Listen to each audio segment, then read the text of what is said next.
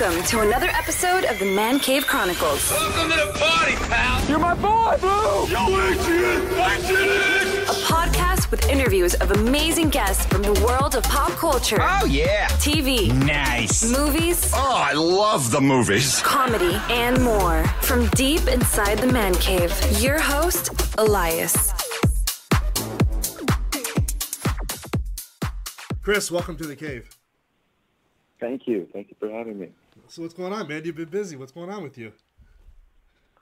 I have. I, I feel like um, the actually this year has been well. January had a little bit going on, but uh, February I've been able to relax, um, which has been nice because I've been uh, working quite a bit, which I don't want to complain about. It's a great problem to have. But, Yeah. Um, it's been nice just to kind of like chill out and zen out and spend some time with my dog and um, yeah, just relax. Uh, so you've been busy, you know, with Hallmark movies, and now you're on the series called uh, "When Calls the Heart," and we'll talk about that. Calls but- the Heart. Yeah. When uh, so I want the listeners to get to a little bit know about you. Uh, where are you originally from? I grew up in Vancouver, Canada, Alright. uh, West Coast, West Coast of Canada. Yeah. How was how was it growing Great up there? grow up. It was awesome. It's a it's a fantastic city. You know, it's um it's not too big, and it's nestled right in um, in between the ocean and a whole bunch of mountains. So you kind of it's one of those places where you can go snowboarding or skiing in the morning, and then if you wanted to go swimming, you could. I mean, it would be really cold, but Yeah. you could go swimming in the ocean on the same day. Do you still do you still reside there? Uh, I am back and forth. Back- Uh, When Calls the Heart actually films up there. Okay. So um, when I'm when I'm back working, I'm I'm back at home. Yeah. Um, but I'm currently in in LA. Yeah. So uh, growing up there, uh, what were you into? Uh, I was I was kind of all over the board really. I did some um, some music. I used to be in a jazz band, Oh, nice. although I haven't picked up my my saxophone in about uh, ten years. So I don't know how much of it has stuck. But yeah, I used to do music, and uh, I was into sports as well. And um, I used to teach taekwondo uh, for quite a while. And I tried I tried a little bit of everything. I tried football. I wasn't very good at it. Um, played soccer for a while, but didn't really excel at that either. so um, but yeah, mo- mostly. Sorry, go ahead. no, I was gonna say, growing up in Canada, uh, did you get into hockey at all? I did, yeah, I played hockey. Um, I joined kind of late, though. I mean, I think I was maybe 14, 13, 14, and, and I, I said I wanted to pick it up. And my parents were very accommodating and uh, let me join. Um, so I had I had a little bit of a handicap there. I was I was way behind everyone else, but it was still fun to get out and play. Yeah. I played for a few years. So as a You kind of have to. Yeah, yeah. I mean, it's interesting, like, because I, know- I know, like, I have some friends that live in Canada. You know, they grew up there, and like, hockey got thrown right at them right away. hmm Yeah. To be honest, it got thrown at me right away too when I was, I think, six or something like that. And then um, I, I, for whatever reason, had a terrible day, and I left crying. Said, I don't ever want to do that again. And friend said, Okay, moving on to the next thing. and uh, and then later, I was like, Why didn't you push me? Why didn't you say stick it out? Because uh, I wish I had. I wish I'd played from since that age. But How did you get involved with uh, martial arts and taekwondo? Um, I originally started with karate when I was pretty young. I, I, I don't remember whether I expressed interest or whether my parents said, "Hey, this is something you want to try." But um, just taking classes, karate classes at uh, a rec center, and then a taekwondo school opened up about three blocks from my parents' house, and they said, "Hey, this is right here. Do you want to just do that instead?" And I said, "Yeah." So. Um, started training there and then eventually ended up working there and, and teaching there and um, it was it was a pretty big part of my life until I was about early 20s So do you still do you still keep active with it? Uh, I'm trying to do a couple of fight scenes, yeah, and uh, and I always ask can I do my own uh, my own stunts? They always say, no, no, we've got your son double. So well, can I just you know try the rehearsal and blocking and and then um, I guess I do an okay enough job. So like, you know what? Yeah, yeah, you can you can. No, you just stay in there. I said, Great, Yeah. thank you. I've had a lot of you know I've had a few guests on. You know, they have background in fighting and everything, and they always want to do their stunts, and they get a big no right away. Every time, yeah, and I understand why. You know, if you hurt yourself, it's a it's a big problem for production. Yeah. But selfishly, it's so much fun. so, when you were a kid, did you know you wanted to be an actor? hmm Yeah, yeah, I did. Um, but I had kind of a misunderstanding of um, of what that meant. I just I thought that you could just go out and do it, and you didn't have to train or anything. And it's just something that, that one does. And so I had my, my parents hooked me up with an agent when I was um, when I was a kid, and I did a couple commercials and a couple small roles on uh, on a few local TV shows. But honestly, I don't know why they hired me because I was absolutely terrible, like really, really bad. Um, and then once I finished high school, I kind of realized, oh, I guess I'm actually I'm not very good at this. I need to I need to actually train. So rather than um, going to university or college, I decided to enroll in uh, in acting classes. Did you uh, were those acting classes in Canada, or did you go right to LA?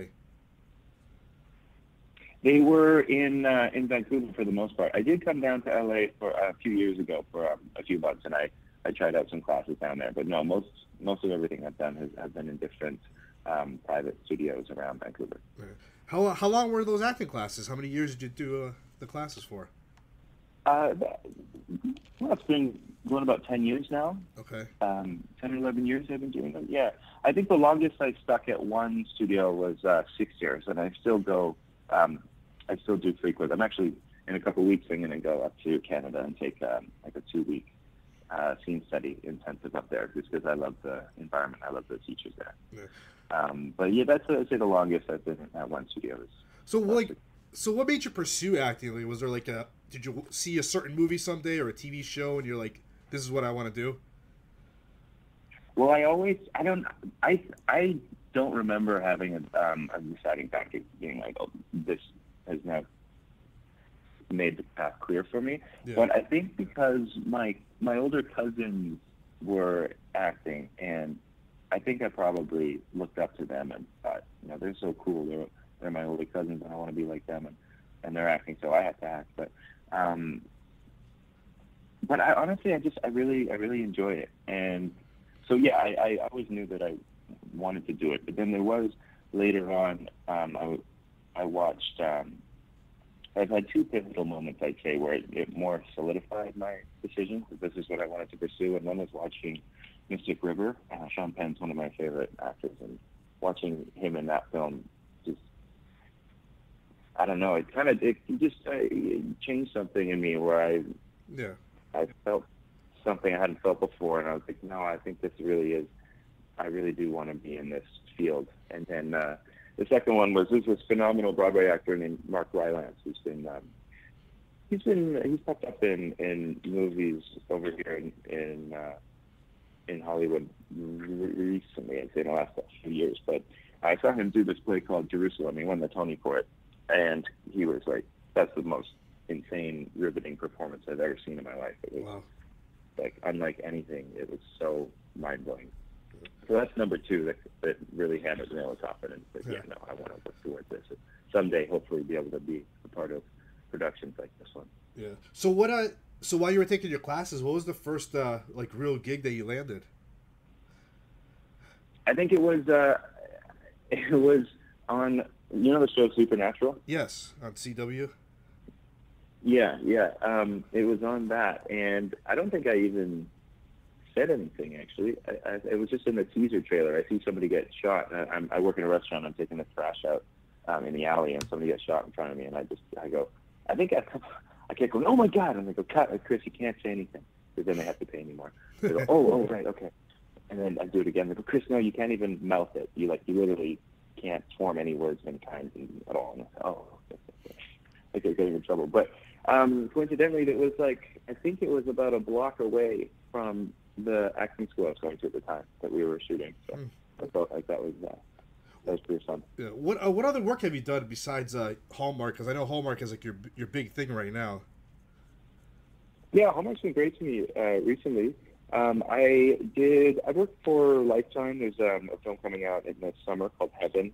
It's part of a five-part series by um, the books by Lisa Andrews, um, the Heaven Casteel sort of chapter. Of, of, she's got a whole bunch of these novels, uh, and I got to work. It was I was in a few episodes. It wasn't anything huge, but uh, working on Altered Carbon for Netflix was a blast. That was that was pretty rad. They just had such a huge Yeah. crew, so much going on, so much money. Like, everything was super elaborate. So yeah, th- that's super fun. so now you're in the series When Calls the Heart, and you play Lucas. Uh, tell us how how do tell the listeners a little bit like what the show is about. It's uh, it's about a woman from well, it takes place in the early 1900s, and it's about a woman from the city who um, grew up very posh, who wants to be a teacher. She ends up getting a job um, as a school uh, elementary school teacher in um, this rural town, and so it's about her kind of trying to adapt to small town life, rural life, and she's obviously she's kind of um, disregarded and shunned at, at the beginning, and, and, you know you're never going to last a week in this in these um, conditions. Uh, but then, but she overcomes it, and she becomes a part of the town, and, and finds love and um, friends, and so yeah, it's just now it's become an ensemble about the group of people that are um, are living in this tiny town called Hope Valley in Alberta, Canada. And uh, this year, this season, I think is uh, the year 1916. So now, uh, how did you land that role? How were you approached for the show?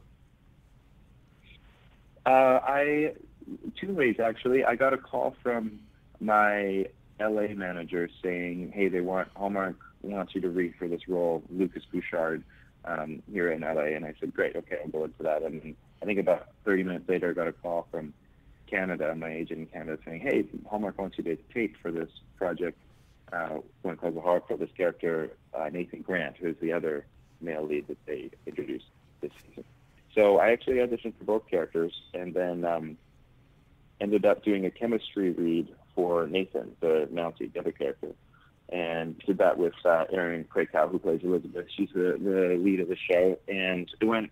I had a great time. I think it went really well, and I think Erin felt that way too. And and they asked me if I could stick around and read, um, do a chemistry read as Lucas, and I said, yeah, sure. I, I already kind of, you know, I auditioned for it last month. I know the side, so I took a little bit of time with them in the in the hall and came back in and um, redid the chemistry read as Lucas, and then found out about it a week later that I was cast in that role.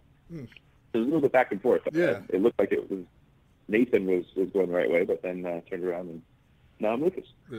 So, so tell us a little bit about Lucas. Uh, what kind of a character is he? Lucas is really fun to play. He's he's a bit of a mystery. He's an enigma. Um, he's kind of he's he's young. He seems to have a lot of money. Um, he's super flashy with his clothes and style, and he loves gambling. Like poker is his jam.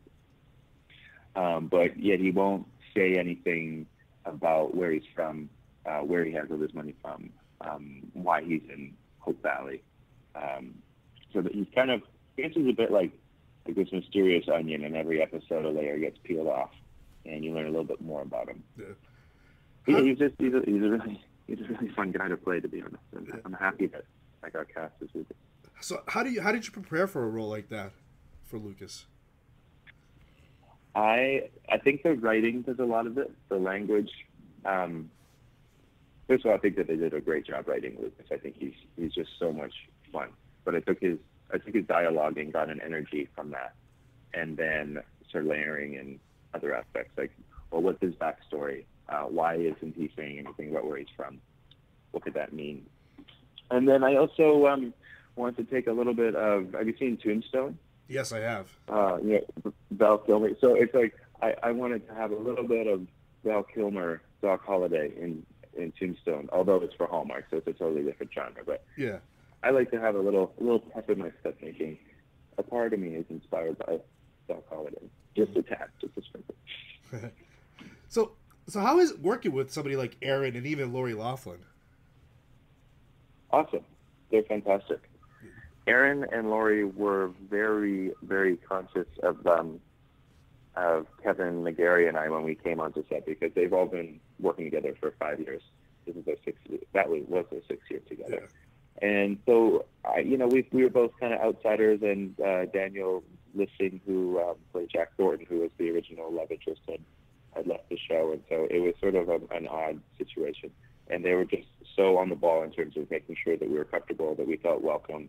They're super kind, and they're both they're really good actors as well. So it was just like it was great. I'm super grateful uh, that that those two are a part of this team and were able to welcome us in. So the show recently just premiered. Do you have a favorite scene that you were in so far that you could talk about?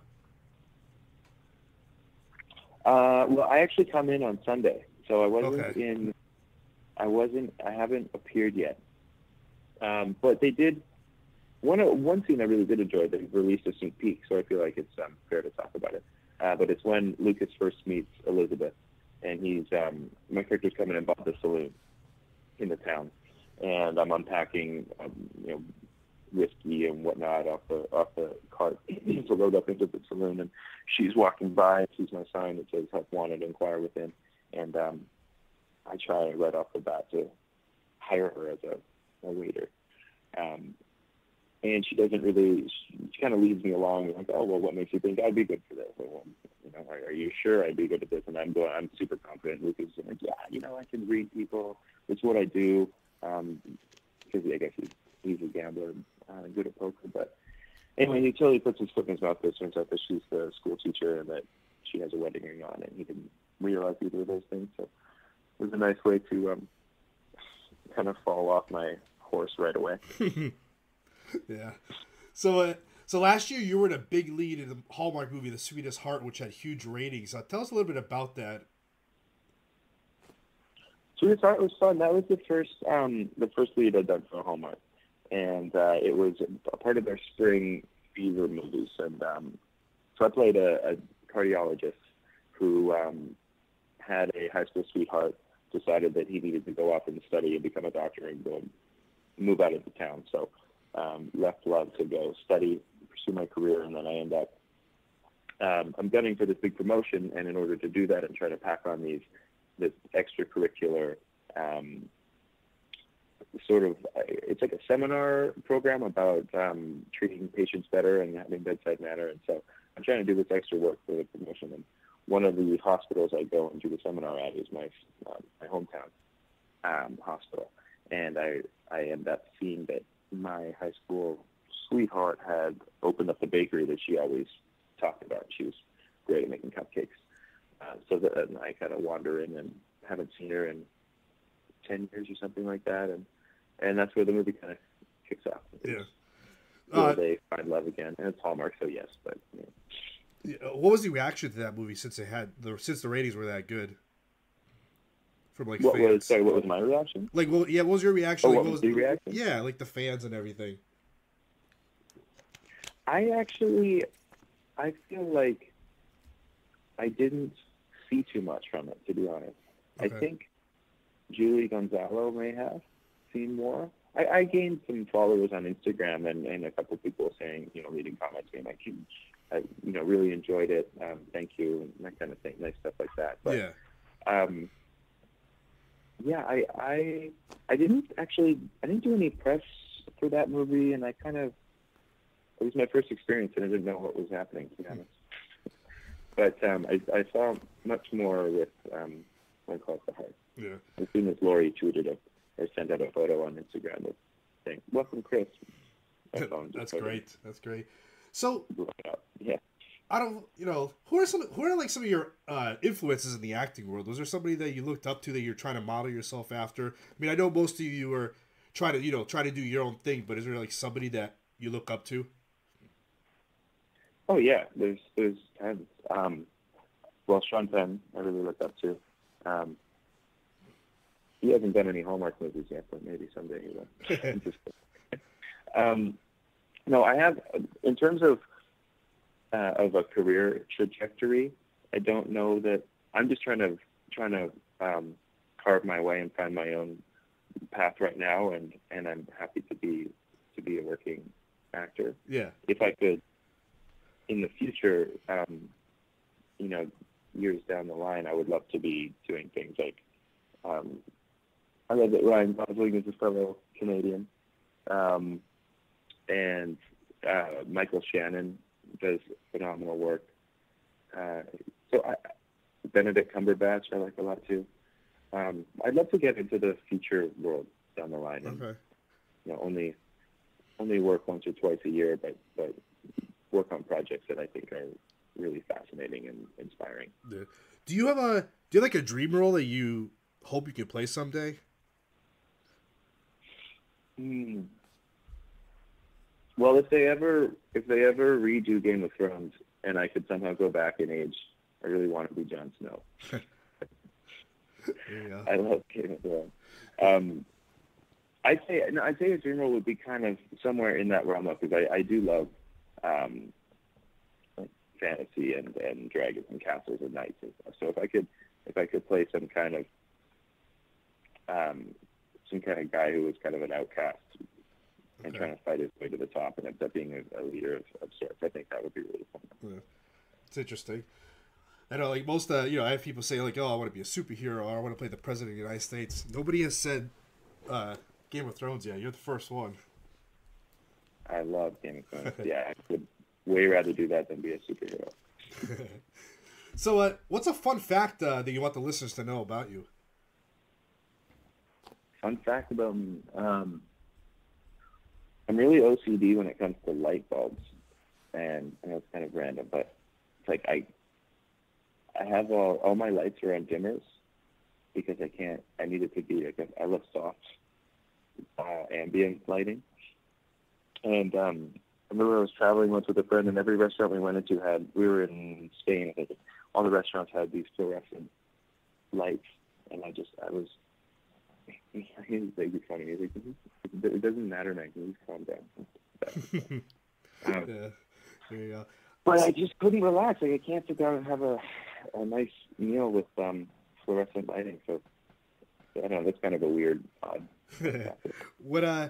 So when you're not acting, what do you what do you do for fun? What are some of your hobbies? I love camping.